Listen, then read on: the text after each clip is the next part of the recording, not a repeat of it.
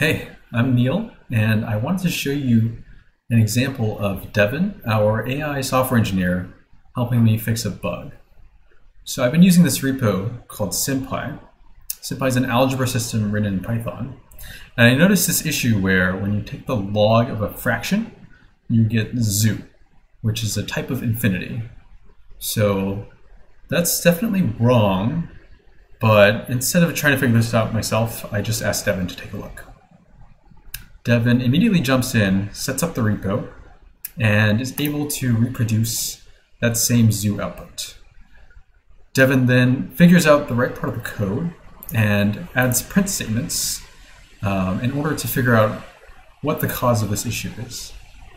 And we can see here that the cause is that integer division leads to a zero, and then we take the log of zero.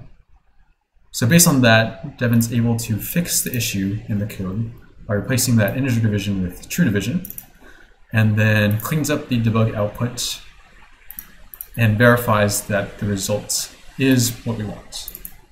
And then Devin even runs the test in the repo as well to make sure nothing else is broken. So that was great. Um, saved me a ton of time. So thank you, Devin.